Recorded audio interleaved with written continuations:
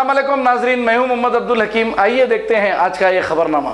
सैयद सलीम, जो एक एनजीओ चलाते हैं और सोशल एक्टिविस्ट भी हैं और ये बहुत सारे फलाई के काम भी अंजाम देते हैं। इन्होंने ये कहा कि सेक्रेटरीट की जो दो मस्जिदें शहीद हुई हैं, केसीआर ने बनाने का वादा किया था, बाजाबता ऐलान किया था, लेकिन अभी तक कुछ नहीं हुआ। हालाँकि हमारे कायदीन भी ये कह रहे हैं कि मस्जिदें बन जाएँगी। आपने देखा, एक खाना मस्जिद जब शहीद हुई थी तो हमारे कायदीन भी ये कहे थे कि मस्जिद उसी जगह बनेगी, लेकिन अभी तक कुछ नहीं हुआ। अब इस पर सैयद सलीम जब इस बारे में कुछ कहते हैं तो कुछ भक्तों के पेट में दर्द होता है और सैयद सलीम को गालियाँ देते हैं। और हम न्यूज़ बताते हैं उनकी तो हमको भी गालियाँ देते हैं। अरे मेरे भाई, सच्चाई बताना अगर बुरी बात है तो मैं ये सच्चाई बताते रहूँगा और आप गालियाँ देते रहिए, हम सुनते ही रहेंगे। तो इसी तरह सैयद सलीम साहब ने ये कहा कि सेक्रेटरीट की मस्जिदें कब बनेगी और एक खाना मस्जिद कब बनेगी? और हमारे कायदीन ये नहीं पूछा कि मस्जिदें तोड़े कैसा? ये सवाल नहीं किया। ये कहना सैयद सलीम साहब का है।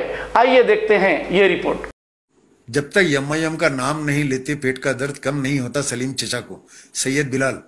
सैयद बिलाल साहब एम का नाम नहीं लेते बोले तो जब तक का इन्हों तारीफ़ करते रहेंगे केसीआर की। जब तक तो बोलेंगे ना, अगर मस्जिद टूट गई, शहीद हो गई तो भी खामोश बढ़ जाना आवाज़ नहीं उठाना। आज उन्होंने वेलकम बोल रहे हैं। एक और एक मस्जिद बना के शानदार देता हूँ बोले तो वेलकम बोल रहे हैं। मस्जिद टूटी सो मजम्मती बयान नहीं दिए। मस्जिद शहीद कैसा हुई बोल के प्रोटेस्ट बयान नहीं आया। बयान क्या आ रहा? वेलकम उन्होंने बना देते बोले वेलकम इनके वालिद मरहूम सुल्तान सलाहुद्दीन अवैसी, बाबरी मस्जिद के टाइम पीवी नरसिम्हा राव के घर के बाहर निकल के, उस वक्त के प्राइम मिनिस्टर के, ये बयान दिए थे कि मैंने प्राइम मिनिस्टर से तयखुन ले लिया है कि बाबरी मस्जिद उसी मुकाम के ऊपर बनेगी। मैंने तयखुन ले लिया है। जबकि बाबरी मस्जिद शहीद हो गई उसके बाद।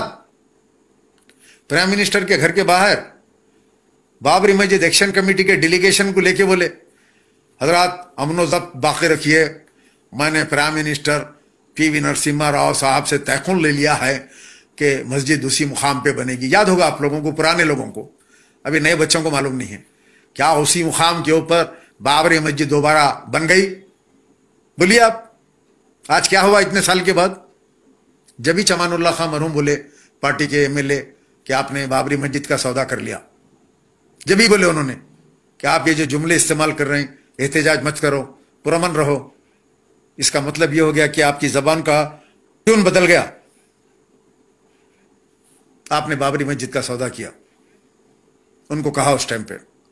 बहरहाल, आज ये लोग प्रोटेस्ट मस्जिद के बारे में भी बोलने के लिए इनके मुआ बंद है। नकीबा का भी मुँह बन, हबीबा का भी मुँह बन। अब मैं ये पूछ रहा हूँ, एक सिंपल क्वेश्चन उसमें कुरान शरीफ भी थी होगी, उसमें जानी माजा भी होंगे, क्या उसको हटाए या वैसे बुलडोजर फिरा दिए? ये बात नहीं पूछूँ, बिलाल साहब।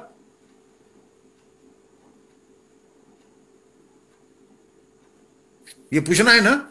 अगर हटा दिए थे, हटा के शहीद करे तो इनको नहीं मालूम होता, इनको नहीं बोले। साहब, कुरान शरीफा वगैरह हटा दिए, उसको शहीद कर रहे हम। क्या नकीबा को नहीं मालूम है कि वहाँ मस्जिदें शहीद होने वाले हैं? सेक्रेटरीट की पूरा एरिया जो है साफ़ करके नया प्लान बन गया है। हाँ? बोलिए आप। नहीं पता है? बगैर इनको एतमाद में लेके इतना बड़ा काम कर देता दो मस्जिदों का वो। अरे हाईकोर्ट के अंदर एक मंदिर है, पीछे की तरफ़ है back side of high court जब हाईकोर्ट का प्लान बना, निज़ाम हुकूमत में और निज़ाम साहब के पास, निज़ाम सरकार के पास प्लान को लाया गया।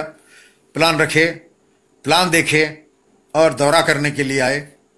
जब चीफ इंजीनियर निज़ाम हुकूमत का ये बोला कि साहब, यहाँ एक छोटी सी मंदिर है, इसको निकाल देंगे, पूरे एरिया में तो कुछ भी नहीं है।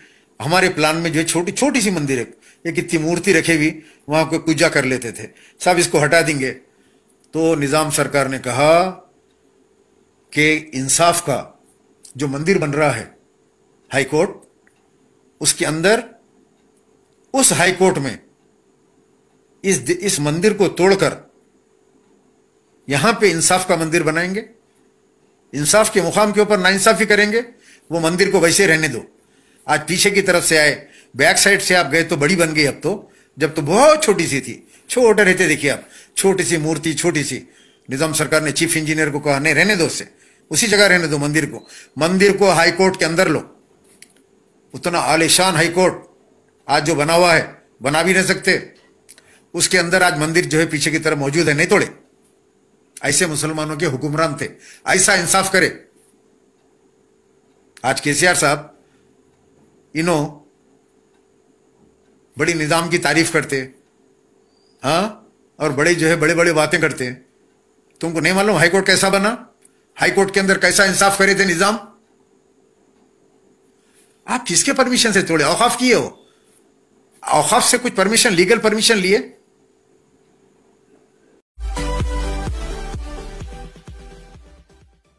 जर्मन टेन हॉस्पिटल ऑर्थोपेडिक से मुतालिक हर मरीज़ यहाँ शिफायाब।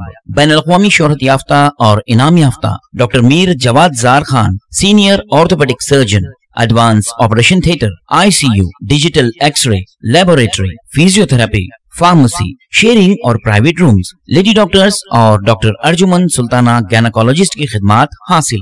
वाजबी फ़ीस और मुकम्मल सहूलियात से हज़ारों मुतमिन। एंबुलेंस से आरास्ता Germanten orthopaedic hospital pillar number 150 Attapur Hyderabad खबर है शहर की। खबर है गाँव की। खबर है सारी दुनिया की। सेवन एच न्यूज़ पसंद आए तो लाइक कीजिए। शेयर कीजिए। और सब्सक्राइब करना ना भूले। सेवन एच न्यूज़ आपकी आवाज़।